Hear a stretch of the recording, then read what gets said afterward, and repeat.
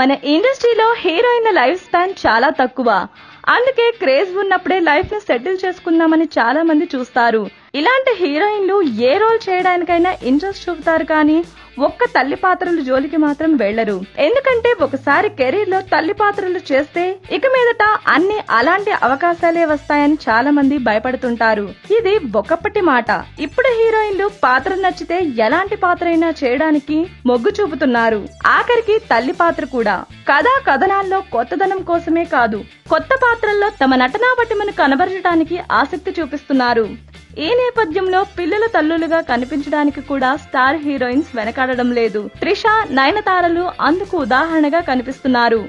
Senior heroine Trisha thirty ప్లస్లో కూడా పెళ్ళి మాటెత్తకుండా సీరియస్గా సినిమాలు చేసుకుంటూ పోతుంది. తెలుగులో త్రిషకి హీరోయిన్గా అవకాశాలు లేవు.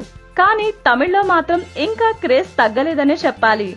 అక్కడ ఆమెకి ఇంకా ఆఫర్లు వస్తూనే ఉన్నాయి. తని ఒరువంతో తిరిగి ఫామ్లోకి వచ్చిన సీనియర్ హీరో అరవింద్ స్వామితో చదురంగ వెట్టేలో త్రిష హీరోయిన్గా చేస్తుంది. ఈ మూవీలో ఆమె నాలుగు సంవత్సరాల పాపకి తల్లిగా నటిస్తుందట.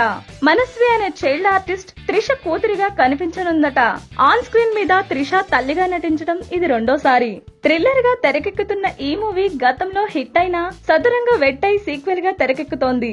ఇక నయనతార విషయానికి వస్తే కెరీర్ మొదట్లో గ్లామర్ రోల్స్ చేసినా ఇప్పుడు అన్ని హీరోయిన్ ఓరియంటెడ్ పాత్రలు చేయడానికి మొగ్గు చూపుతుందని కొత్తగా చెప్పక్కర్లేదు. మాయా డోరా వాసుకి వంటి చిత్రాలే దీనికి పెద్ద ఉదాహరణ. కథ నచ్చితే చాలు. అది ఏ భాష అయినా సరే చేయడానికి ఇంట్రెస్ట్ చూపుతుంది నయనతార.